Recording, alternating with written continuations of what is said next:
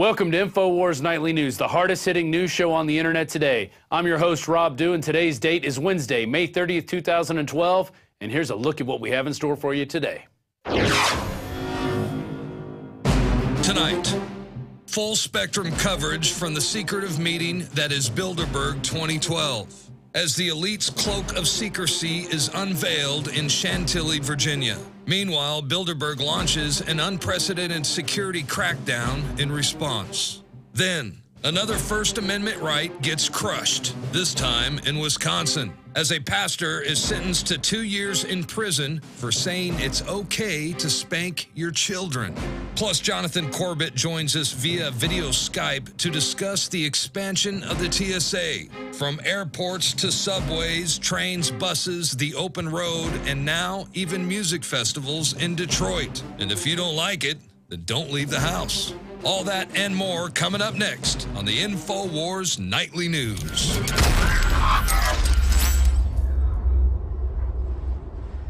Before we jump to our main news stories, I just want to show you some of the stories that were featured on Infowars.com today. First off, EU tightens to address Euro crisis at Bilderberg. And this is from Paul Joseph Watson. Apparently, head of the European Council, Herman Van Rompuy, will be at this year's Bilderberg conference, and he's going to be meeting with the head of the uh, European Central Bank to talk about how to handle the Euro crisis situation. So that should be interesting. They're going to be planning your lives under cover of darkness, essentially. Next up, Greens demand Bilderberg confab be made public. Green Congressional Party candidate Joseph Diaferia of New York is demanding that the Bilderberg conference be made public. And he said, This is a Rockefeller construct. It would be imprecise to call it an organization because although it, it's so called it has so-called regular attendees every year, and he mentions those. They have no offices and no specific location or headquarters, and they meet by invitation only. So, of course, he's finally woken up to the fact, and hopefully other people who are running for office have woken up to that fact, and they will demand that when these people meet on our soil, that their meetings be made public, because we have a right to know what's going on in our country, especially when our own elected officials are going to meet with these people. Also, uh, the drone shot down over Texas video has gone viral. That was nice to know. It's got over 100,000 hits so far, so be sure you check that out and spread that around. It's got some great shots. Uh, some great explosions, and uh, be sure and check that out. Over 100,000 views already, so this one's going to be a big one. And finally, there is a video posted on our YouTube channel. Bilderberg has Alex Jones thrown out of Marriott Hotel. And this is the day before the official kickoff. Alex Jones and crew are officially kicked out of the hotel by the manager on the premises, stating that a renovation was underway. So, yes, they took their reservations, they did all that nice stuff, but then they went ahead and kicked him out anyway because they ran his name and decided, wow, we don't want Alex Jones here ruining our conference with the elites from around the world. We're going to go to that video real quick, and then we'll be right back with more news. Oh, these are the guys I want to talk to. Yeah. Hi. How you doing, Mr. Good. How you doing? What's your name? My name is Sean Scott. I'm Alex Jones. Nice to meet you, Sergeant. Yeah, I met you last four years ago. Oh, cool. Yeah, you guys were real nice. Yeah, so. I thought I was actually in America for a while. oh, watch out. We're going to go over here. You over here? Um,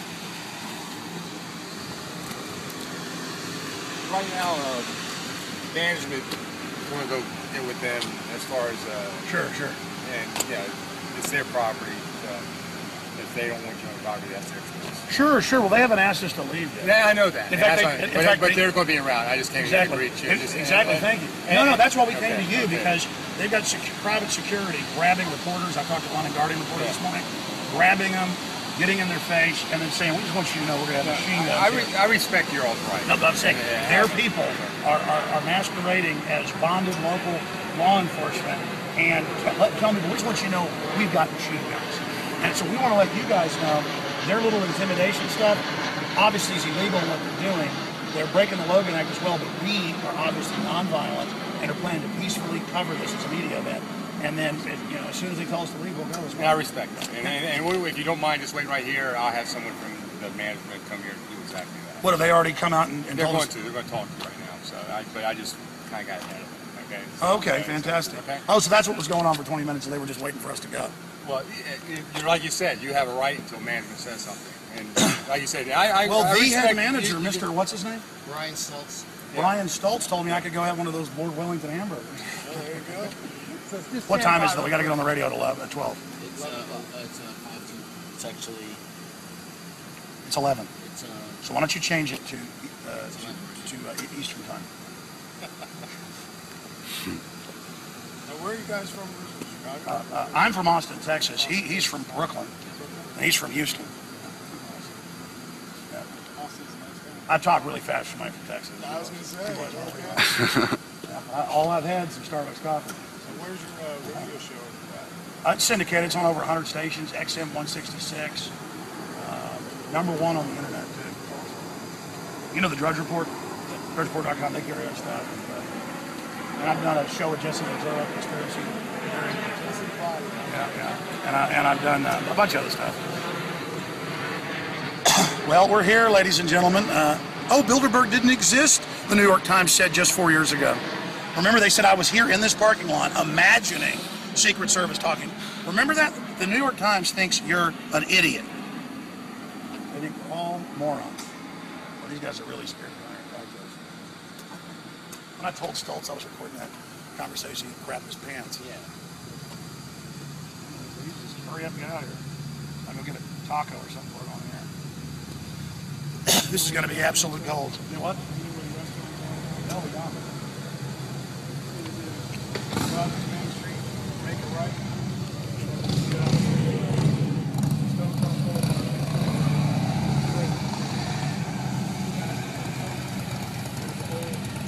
Shopping center. Taco place, Foster, you got Oh, good. See, I knew there was a taco place. I just forgot because they had some plain clothes guys. I don't think it was Fairfax County. Follow us last year. We started following them. They ran in the taco place and went to the bathroom. I mean, I- it's not like we bite or something, you know. Be rest assured that won't be me. Okay, no, no. I can tell local police is their territory. Look at this inspection stickers out. Yeah, look at this. No, no, it was. It, we found out it was Marines uh, from uh, diplomatic security. One of them was a colonel. He got like fifty-something year old colonel. He's coming to the hotel with a bar meeting. Hey, Alex, my cameras on tackle sticker. I'm like, oh no, that's all right. I I go, I, I've got you. What are you, a Marine? They don't know. His face went to the internet. and all this whole thing. And they got in trouble I was taking. One thing on the border, we all know their secret operations going on, controlling all the goodies the banks bring in. Here we go. Still streaming. Is this Mr. Stoltz? Hi. Richard Hey, Richard. How you doing, buddy? Good, how's it going? Pretty good. You are? I'm Alex Jones. Nice to meet you, sir. How can I help you? Uh, well, we are guests at this hotel, and I just got into town, and uh, they had told me that they were getting a room somewhere else. Uh, unfortunately, the hotel is having some renovations done, so we don't have any. Oh. We don't have any rooms for you, and I believe Mr. Stoles did tell you that. And being private property, the restaurant's not open today, and we don't have any rooms for you, so I'm going to have to ask you to leave. Okay, I'll, well, I'll go. Can I get my voucher for my room? The room has been taken care of for the first night over at. Okay, can I have a map for it, please? Sure, no problem. I'll be right back. Thank you. Can you please stop recording me? Well, I mean, we're, this is a this is a public commons. This is No, semi-public just commons. private property. Where are the signs we can't film? Because because we're we'll leave if that's the case. But I need you to have me a courier deliver it over to my other place. This look, this is private property. I don't understand why you're filming me and why you're taking pictures of the hotel. I'm, Well, we were I'm guests that were booked here, and you told us we are leaving, sir. You're not leaving. Yeah, we are. I'm gonna get you. I'm gonna get you your. We will leave when you give us that, and we'll be out there bullhorning the Bilderberg group off your property the entire time. I won't be back on your property until four years later when you have it here again if America still exists.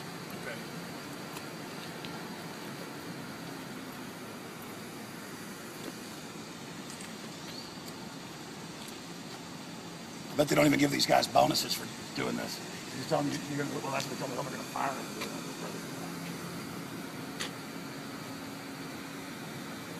These guys have the have a corrupt mafia that runs our government behind them, and they feel so powerful while they're, oh, I'm with the system. Oh, Saw the way his expression It's totally changed when pathetic. you uh, mentioned Bilderberg. Yeah. He went from smile to frown. But they told him, you know, because it is because because they're still playing the old game where it doesn't exist. They're still telling the public it doesn't exist like they're idiots. It's a renovation. It's a renovation. I booked it three weeks ago, but they have a renovation. I can't believe it. I, I- I've been kicked out of the hotel. I need my voucher. That's all I want's my voucher. And then as soon as we get that officer, we'll get out of here. Get out of here. There's nothing like this live streaming. I'll tell you.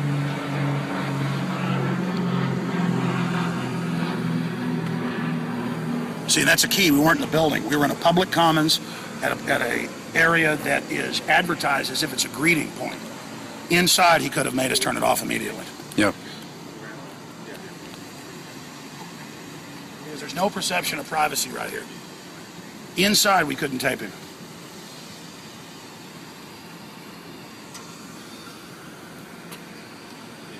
There's our old room up there, remember? Mm-hmm. Okay, we're not going to be back in here for a while. I want you to stop that and get some good shots before we go fast. And don't forget, you can see that and other videos, including live videos that they've shot um, on our featured section under these two titles. Here's the first one live video from Bilderberg 2012, or you can also search for Bilderberg Breaking News.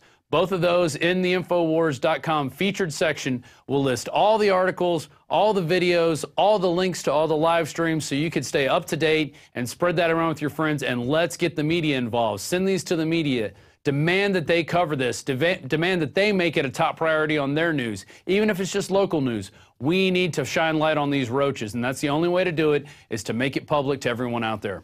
Now let's move on. Agenda 21 to be discussed at Bilderberg Confab. The attendance of Alberta Premier and global warming alarmist Alison Redford at this year's Bilderberg conference, during which she will discuss the ecological challenges, confirms that Agenda 21 and the bid to rebrand the stuttering climate change power grab will be a core issue at the elitist confab set to take place tomorrow. According to a government news release, Redford will meet with a number of individuals to discuss topics like monetary policy, ecological challenges, and responsible development of natural resources. You know what that means? Those are all code words for humans get off the land, stop using it, go back to the Stone Age while we fly around in helicopters and hover ships above you, and maybe we'll throw you some breadcrumbs. That's what Agenda 21 is. So, Canada, you guys are now involved. You should call up the Alberta Premier office uh, of Alison Redford and tell her you don't want her meeting with this trash. And if she does, we want to see the minutes of it. We want to know exactly what she was talking about, and we want to see him. Next, Bilderberg launches unprecedented security crackdown. I've actually seen video of where they're already putting fences around the entire wooded area around the hotel area. As you drive in, it's got a wooded area around it before you get to the actual hotel grounds. Bilderberg has launched an unprecedented security crackdown on the eve of tomorrow's secretive confab of global power brokers, with guests at the Westfields Marriott uh, and Washington Dulles Hotel being intimidated by talk of machine guns and high tech surveillance. Surveying the scene at the hotel today, radio host Alex Jones described a chaotic picture with, with Bilderberg security, including a particularly vocal Swedish woman stomping around the building announcing that machine gun nests were being set up in anticipation of a deluge of protesters arriving over the next few days. So we just showed you that video of Alex being asked to leave, and this is ridiculous. You know, threatening people who are obviously peaceful protesters with machine gun nests. I mean, where are we living? East Germany? Obviously so. So that you know what that means? We need more people there. We need 10,000 people there. We need 20,000 people there. We need to make this a giant event to show the people out there, the sleeping the sleeping giant that is America, that we know what's going on and that there is a shadow elite group of power brokers out there who is discussing things behind the scenes and we need to be made aware of what's going on. Now, moving on to some other news. Uh, this is out of the Independent. Israel hints it may be behind the flame supervirus targeting Iran. And that's a big surprise because we already know they were partially behind the Stuxnet. A top Israeli minister fed speculation that the Jewish state could be responsible for a powerful new virus said to have been used in a fresh attack on computers in Iran and elsewhere in the Middle East. That's right, it includes uh, Palestine, Sudan, Syria, Lebanon, Saudi Arabia, and Egypt, in addition to Iran. Moshe Yaalon, Israel's vice prime minister and strategic affairs minister, told the country's Amy Radio, or Army Radio, anyone who sees the Iranian threat as a significant threat is responsible, that he, he or she will take various steps, including these, to harm it. So he's basically saying, yeah, we did it, and uh, well, if it gets out anywhere else, that's not really our problem. you know, they're just protecting their interests, or, or so they say. But in the meantime, this could cause untold problems for Iran, and they may retaliate, which would then cause Israel to retaliate. And basically, this is just more provoking, more poking the stick at the bear, and seeing if they'll do anything in return. So far, Israel, uh, so far, Iran has yet to retaliate on that. Moving on to a weird story out of Wisconsin. Pastor sentenced to two years in prison for teaching that parents should spank their children. Oh man, this is crazy. A minister named Philip Caminetti was sentenced to two years in prison for simply teaching that parents should spank their children when they misbehave. He was quoting a Bible verse, Proverbs 13:24. And after prison, he's going to be on extended supervision for six years. And despite objections on constitutional grounds from his lawyers, this man wasn't even spanking children. He was just saying, "Hey, if your children gets out of line, if your child gets out of line, you should spank them." Okay? Because that's why we have kids running around here in this country who aren't well behaved, who are delinquents, and, and, doing all kinds of crazy stuff because their parents didn't raise them right. Okay, probably because they didn't spank them because they were told spanking was bad. Yeah, well, that's a big First Amendment issue. I feel really bad for this judge, Maryann Sumi, who was absolutely horrified that someone should spank their kids when they misbehave. I mean, it's just ridiculous. But just a sign of the times of where we're going. Moving back abroad. West Hula's Syria narrative crumbles, expels diplomats anyway, and this is from Tony Cartalucci. And it, it basically shows two contradicting reports. The UN said that uh, most of the 108 victims of the massacre in Hula last week were shot at close range and that they were their arms were bound and there were women, children, children and entire families were gunned down in their own homes. Well, it, that's a complete opposite of what the UK Foreign Minister Alastair Burt was saying. He was saying, We're appalled at what appears to be credible reports that the Syrian regime is responsible for the deaths of the 92 civilians in Hula. And he was saying that uh, artillery, tank shells were being used. And, it, and, and if that's the case, it's a pure act of naked savagery, and we condemn it. And they started kicking out um, the foreign minister from Syria out of the UK office. And, uh, but then the UN's obviously has a different report. And actually, when photos came out, you could see that people's arms were being bound. There was no way that this was shelling done from, uh, from a faraway location. These people were gunned down at close range. But instead of looking at the actual credible report, they're going off a report that they got from some unknown person and using that as a, as a um, premise to kick out the Syrian foreign minister. We're appalled at what appears to be credible reports that the Syrian regime has been responsible for the deaths of 92 civilians in Hula, including 32 children. The UN head of mission has been able to confirm the numbers um, and also that artillery tank shells have been used. If this is the case, then it's an act of pure naked savagery, and we condemn it in the most in the strongest possible terms. So clearly, nobody was actually making attempts to follow up on these reports and make sure that they were credible. But it's just another indication that any use, any reason NATO can use to go after Syria and start the next theater of war there, just like we did in Lebanon, or not, I'm sorry, just like we did in Egypt and then Libya.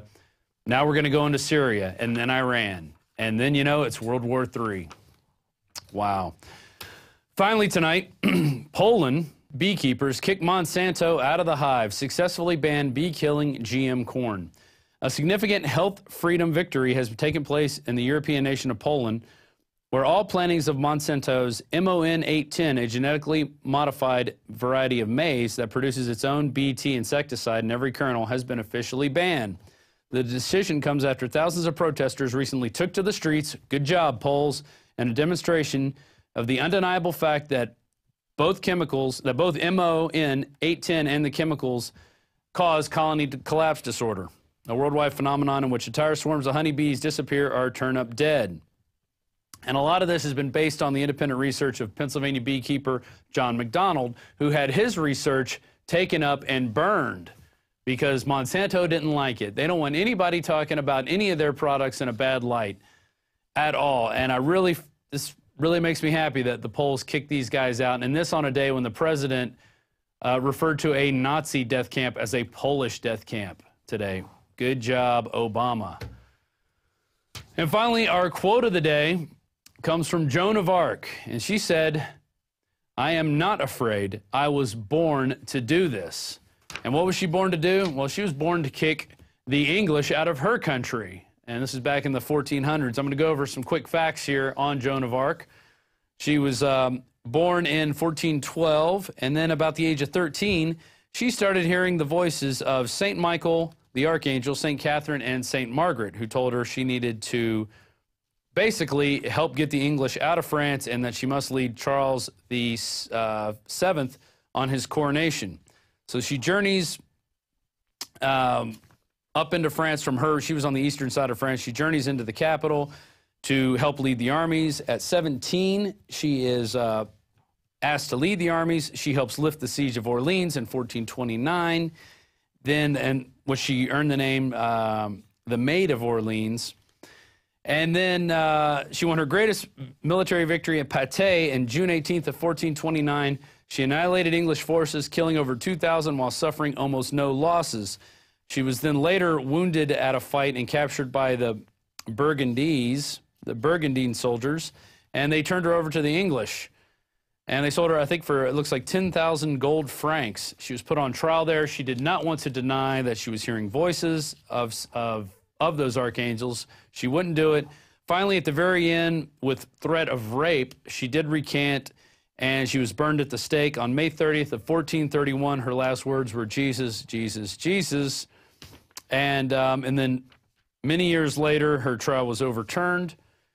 And now we celebrate St. Joan of Arc feast day, which is May 30th, which is today. So there you go. That's why we had that quote from Joan of Arc. And it just shows what one person can do. Coming up, we're going to talk to another person who just decided he was fed up with the TSA and what they do. He started a WordPress page, started making videos, and now he's testifying in front of Congress and sending petitions to the Supreme Court. His name's John Corbin, and he'll be right up after this. Don't forget, if you're watching this on YouTube, you need to become a Prison Planet member. You can do that by going to uh, InfoWarsNews.com or PrisonPlanet.tv. Also, we have a free social network that you can join. It is Planet InfoWars, and it has all this amazing stuff. There's the cool graphic we have today. We had a video that was shot with one of our moderators today talking about all the things that are going on with Bilderberg. So get out there, get involved, become a member of Planet InfoWars, become a member of PrisonPlanet.tv and let's help take it to the next level. We're already getting there with your help, and we sure do appreciate it. Coming up next, Jon Corbett of TSA Out of Our Pants.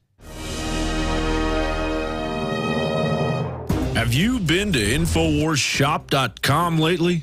Express your inner patriot with these brand new InfoWars t shirts. Say it loud with the InfoWars Bullhorn shirt, or educate the sheeple with the Bill of Rights shirt grope the public's mind with the TSA shirt. And with this shirt, you can let the dark side know of the Rebel Alliance's power. All available at InfoWarsShop.com. For more than six years, I've talked on the air about creating a social network. PlanetInfoWars.com is in its beta phase. We're just launching it. And I want to invite all of you out there to be in on the ground level. Planet InfoWars is about people coming together, forming activist organizations, getting involved politically, hunting and fishing, gardening, dating. This is a place for people who love freedom to meet and to talk and to write and to post information. And I give you this pledge. We are not going to spy on you and sell your data to the New World Order. PlanetInfoWars.com is free, so people who love freedom can get together, connect with people who are awake and know what we're facing. Be active, organize, take action, go viral, create, contribute, resist, because resistance is victory. You are victory. It's waiting for you to breathe power into it. PlanetInfoWars.com. Sick of the globalist eugenicist control freaks adding poison to your water and laughing as you get sick and die? Start purifying your water with ProPure. My friends, I've done a lot of research, and the best gravity filter out there, bar none, is ProPure. And it's available discounted at Infowars.com. Its filters are silver impregnated to prevent bacterial growth. There's no priming required. It's NSF 42 certified. Optional fluoride filters can reduce fluoride up to 95%. Easy to set up and use doesn't require electricity. Purify water from lakes, streams, ponds, and wells. This filter system leaves in beneficial minerals, which is key. Save money by not buying bottled water and avoid BPA that leaches from the plastic. ProPure is the best gravity-fed filter out there. It's what my family uses. Infowars.com already has the lowest price on ProPure. But if you add the promo code WATER at checkout, you get an additional 10% off at Infowars.com. You can also call to order 888 253 3139. Welcome back to InfoWars Nightly News. I'm your host, Rob Dew, sitting in while most of the crew is out on the road in Bilderberg protesting. But um, it's my pleasure to bring to you today, as our guest, Jon Corbett from the blog TSA Out of Our Pants. And he's been writing on this for, for a while now. And one of the cool things he did was make a video about how to bypass the body scanners, which has uh, led him to even go up to Congress and speak in the midst of the esteemed John Pistole and other such luminaries, other such public servants that should be doing our bidding, not us doing their bidding. And uh, he also, we covered an article yesterday, TSA VIPR teams and CBP agents spotted patrolling music festival. That was in Detroit, where I guess he lives and is a music producer. So here he is now. Let's say hi to him. Hey, Jon, how's it going? Hey, Rob, doing well. Excellent. So tell us about this Detroit Music Festival that you um, went to the other day and how you were, were, shocked to see federal agents. Yep, so I'm actually just a visitor in Detroit. I, li- I live in Miami, my first time there, but they, they throw a music festival, uh, electronic music, every, uh, every Memorial Day for the last uh, you know, several years. Um, so, so I, I, went there and I, I, was pretty surprised to find uh, when I walked out of the festival uh, a bunch of TSA uh, agents, armed law enforcement TSA inspectors, uh, and inside the festival, armed Border Patrol agents. That is not surprising. I've we've seen Border Patrol and we've documented Border Patrol agents setting up their checkpoints well more and you know they said to you 50 miles inland they're over 100 miles inland in texas and in arizona and you know, all the, the southern border states. They're they're crawling. They they go wherever they want. They want your papers. They want to know what you're doing, who you're with, where you're going. Ask you 20 questions, and they shouldn't even be anywhere but at the border. Correct. You know, the music festival wasn't far from the border at all. Um, but but the question is, what what kind of border-related activity is going on inside a music festival? And the answer is, of course, none. Um, but but these these agents seem to think that they have um, the authority, and, and, and, perhaps they do, perhaps they don't, uh, to go wherever they want and, and to, to question wherever, whoever they want. And so you questioned a couple of the border agents asking them why they were there. What did they say to you? That's correct. So they, they basically told me that um, you know they're they're within 50 miles of the border, so they can they can patrol wherever they want. Um, that they enforce both state and federal law, and, and that um, basically if, if you don't like it, too bad. yeah. Too bad for you. You're living next to, I guess there's a river separating Canada and the U.S. over there in Detroit. I was, I was there uh, a couple years ago filming some of the despair in that city. And then not too long ago, interviewing um, Kurt Haskell, who saw the, uni- or the, I said the Unabomber, the underwear bomber, get on the plane back in uh, Schiphol Airport. Right. Um, let's go to the TSA, which is the reason now why we have them everywhere, is because of the underwear bomber. Um, you also saw TSA agents, including some of them that were armed, which is pretty new. I didn't know they were allowed to be armed. So, uh, did you encounter them? Did you talk to them? What happened?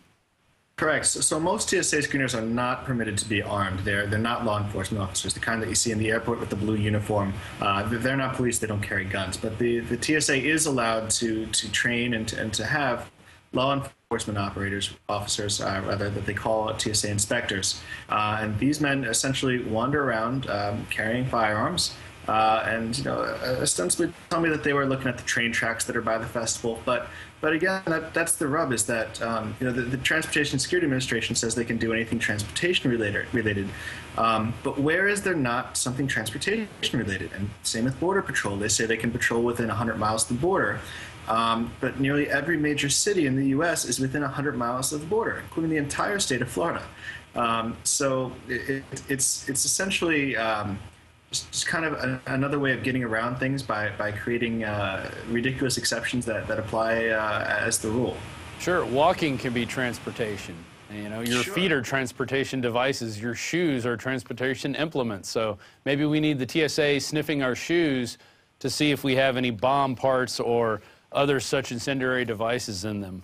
I think it's crazy. Um, did, did you talk to anybody at, with this Detroit Music Festival? Did they know that they were going to have these types of guys there, and did they have their own private security there on hand? You know, they, they had their own private security, and there were there were local police there as well. I think the the idea is that the festival is held on uh, park grounds. Um, and the, the city of Detroit, being being in its current state, basically takes all the help it can get. So they, they essentially give the, T, the TSA or the customs or, or whatever federal agents want to come free reign over the city to, to go wherever they want. That, uh, that, that doesn't mean that that this has to be that way. So I, I am definitely um, contacting the festival organizers and seeing what we can do uh, to, to prevent this from happening next year. Um, you know, just just like any any other kind of private property or private event, the the the event. Uh, uh, organizers should be able to exclude whoever they want, absent any kind of law enforcement emergency. Uh, and uh, I think they need to do so. I, I, don't think that, that a bunch of federal agents is what people want when they're around when they're having a good time. No, we see enough of those guys at the airport digging through our luggage and asking us a bunch of questions and treating us like criminals. So I don't think we need them at our music festivals. I was at a festival uh, this weekend as well, and we didn't have any cops. There was two sheriff's deputies on the outside of the gate. Never saw them inside. Never saw any uniformed police officer other than what they call rangers walking around. And uh, they basically just are there to help conflict re resolution and provide first aid and directions if you need them. And, you know, that's what it should be because it's called personal responsibility. And that's the code that we should be living by in order to change the way we live now, which is this idea that the government has to carry us around on their back and cradle us from uh, cradle to grave. Yeah, absolutely. Uh, so let's move on. You actually went to D.C. Um, when was that? Last week? Correct. I was in D.C. last uh, Monday and Tuesday. Okay. And you actually attended the uh, TSA's Aviation Security Advisory Committee's public meeting. Uh, did they strip search you on the way in? Uh, no, the, the only thing reminiscent of the, the actual TSA is they had those little mats with the feet drawn on them so that you can, you can stand on them when they pat you down. Um, but they, they had private security guards. They, they had the little handheld metal detection wands, which the TSA has gotten rid of in favor of the pat downs. Um, so it, it, was a highly secure building, I would say, but uh, but but none of the uh, none of the stuff they subject us to at the airports to get in. Right. And so, what happened uh, during your presentation? Who was there? Who was in attendance? And what actually did you present? So I actually had had three uh, three things to do in DC. The, the first was the TSA's um, uh, Aviation Security Advisory Committee meeting, which was which was on TSA headquarters, and now uh, for the first time actually consists solely of uh, industry representatives of, of, of, industry stakeholders such as, as airlines and pilots associations and so forth. And this this committee is tasked with with advising the TSA on a, on a range of issues as to what they should be doing uh, and how they should be implementing it. Um, Administrator Pistole came for, for about five minutes uh, to give his own speech, but then uh, suddenly left, as, as he's done actually with, with every ASAC meeting that I've seen, uh, basically ignoring the committee and, and, not giving the time of day to it. So uh, at the end of the meeting, they're, they're required by, by, by, law or by regulation to have uh, open comment. Um, so there, there were actually a few of us, uh, not, not just me, that, that were able to give comments and to, to share that uh, we as, as the traveling public expect this committee uh, that, that is you know, the people that we're paying to travel uh, to, to take action on these, these privacy issues, on, on the invasiveness of the TSA. And did you actually show them the shirt and video that, that you were able to sneak the metal object past the TSA screening device? Um, apparently, they had all actually seen it. Uh, I, I, did mention it. I had several come up to me saying that they, they did see the video. Okay. Um, I, I, also had a, a, second presentation the next day, uh, which was directed at Congress to, to a bunch of staffers in, in, in the House. And, and, during that, we, we did kind of go through the video and uh, explain to Congress exactly what kind of flaws uh, we've seen both both the one that was in my video and, and others. The scanners have uh, a plethora of flaws. There are so many ways to defeat them that um, it, it's astounding. And, and, this the same just does not exist with the metal detector. If you take a piece of metal through a metal detector, it, it'll beep every time. Doesn't matter what you case it in, surround it with, where you put it on your body. Um, it, it, will beep every time. The same can't be said of these new body scanners. Right, but then that doesn't. Um, but then it won't catch those bombs that are sewn into the breasts or the stomach of, of, all these terrorists that are just waiting to come kill us through the airline industry. Right, and then you know, if, if those do actually exist, we, have actually not seen someone uh, depart from a U.S. airport with uh, explosives with the intent of, of, blowing up a plane since the 60s. Uh, but, but if these people do exist, there are other ways to catch them. Uh, number one on the list is, is bomb sniffing dogs. Uh, number two are, are, trace detection machines, either the, the little swab things that they have now or those puffer machines that they used to have um, that they got rid of because their fully manufacturing started to break. Um, the bottom line is if, if you have a bomb in your underwear, you have a whole bunch of trace residue all over your body, and that can be detected, and it doesn't require uh, a machine that takes your clothes off. Exactly. And, and dogs don't cost nearly as much as these TSA machines or having all those TSA screeners yelling at you. In fact, I think they, uh, someone did a, a study, and I think one dog could replace all those machines in there and, and, and screen people in half the time.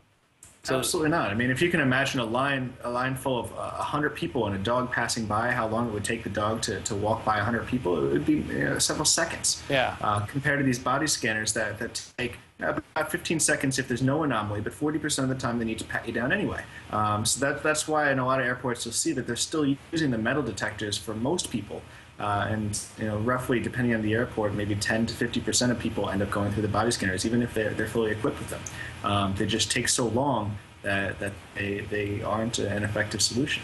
Yeah, I actually shot video myself of this. Every time I go to the airport, I always stop and check my watch for about 35 to 45 seconds while I'm filming.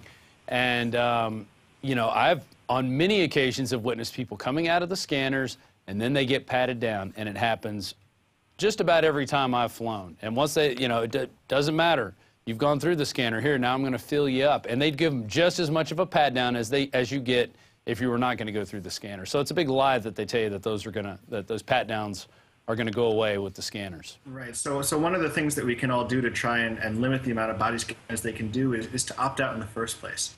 Um, you know, if they're gonna, you're gonna have a 40% chance they're gonna touch you anyway. You might as well just go up and say, "I opt out," and they'll they'll pat you down. Um, the, these these full pat downs that they do take, uh, you know, by the time they actually move you and explain the process and so forth, about three to five minutes, which isn't enough to, to cause you to miss your flight, um, but it's it's enough to make it so that the TSA can't continue to do it. Um, the TSA has approximately seven to ten seconds to screen every passenger in order for them, there to not be a delay and not to be a backup. Um, so if even three, four, five percent of passengers asked to opt out, essentially the machines would have to be stopped using. Um, they, would have to stop using uh, uh, all the machines, they'd have to stop the pat downs, and they'd have to go back to, to the metal detectors. That would be great. I can't wait for that. And also, you uh, uh put a petition into the Supreme Court. Uh, let's tell us about that and tell us about the weird uh, requirements that they made you go through in order to get that petition submitted. that's correct. So I, I, sued the TSA about a year and a half ago uh, when these, these body scanners were moved to primary uh, in, in, November of 2010.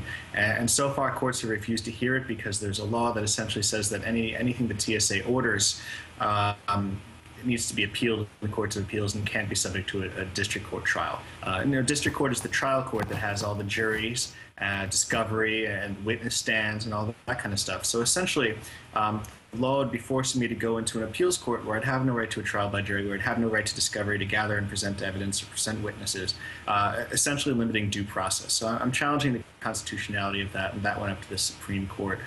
Uh, I filed that on Tuesday. And the, the, following requirements for the Supreme Court are actually pretty interesting. Um, it, it, seems, seems random and arbitrary. Uh, to start, the paper that you use has to be six and, and, an eighth inch by, by nine and a quarter inches, so, so no eight and a half by 11 paper. Um, it has to be bound in a booklet. They specify the exact font you're supposed to use, um, the margins, uh, the, the space between the lines, and uh, even the thickness of the paper. I have to use exactly 60 pound paper in order for it to pass their inspection. Uh, and then when I got to the courthouse to drop off the documents, they, they actually have an interesting method of dropping them off, uh, which is you go out to the back of the courthouse to the security guard stand, which will have, hand you a garbage bag, and you, you, place your documents in the garbage bag and, and just leave it there. Um, I, I, guess the idea is that since they require so many copies of everything, 40 copies in fact, um, people come up with, with, with giant boxes of, of, of paper, and uh, I guess there's sometimes security risk there, so they screen them out back uh, in garbage bags beforehand. But it, it, it just kind of uh, seemed like a, a bad uh, a symbol for, for, for justice to, to, to, place documents in a garbage bag and leave them in back. Here's your garbage bag, kid. Don't yeah. worry, we're going to take care of it. Trust us. Yeah. Really yeah. makes you feel like it's the people's court and, uh, and not the corporation's court and the corporate court that I think it's now become. It, it is interesting, but but luckily today I was, was notified by the Supreme Court that they, they, they did scan the garbage bag and, and I, I guess opened it up and accepted the petition. So we're, we're now on the docket. Interesting. And do you know when you're going to hear anything on that? Um, well, the, the TSA or the, the government, the Solicitor General, and the Attorney General's office will have a chance to respond. Um, and this this is essentially just a petition to ask the court to hear it. Um, so the, the court, uh, based on, on my petition and their response, is going to decide uh, whether or not they should actually look at the case. And, and if they do, which which they do for about three percent of cases, so the odds aren't so good. Um, then there'll be more more briefing, there'll be oral arguments, and it'll, it'll be a big thing. Wow. Well, let's hope they decide to take it, and let's hope we can get these the TSA out of our pants, like it says in your blog.